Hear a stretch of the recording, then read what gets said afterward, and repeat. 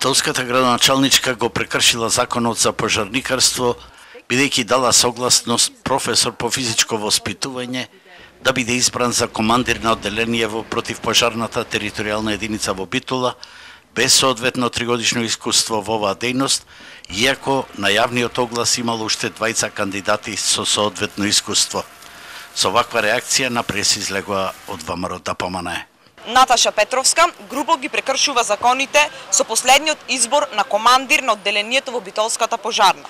Со тоа што во целост незаконски спротивно на член 11 од Законот за пожарникарство избрала кандидат лицето Александар Ангелевски, професор по физичко образование, спротивно на критериумите и условите за соодветно ниво Б4 команда, командир на оделение. Александар Ангелевски не поседува три години пожарникарско професионално искуство.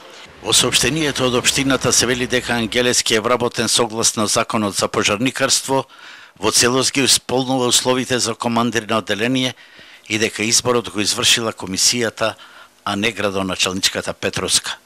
Меѓутоа така не мислат од независниот синдикат на пожарникарите на Македонија, кои упатија писмено известување до Наташа Петровска со укажување дека е прекршен законот и да не дозволи да биде манипулирана од Комисијата за избор во зависност од нејзината реакција, ќе следат и нашите натамошни постапувања, рече синдикалниот лидер Тони Бошковски.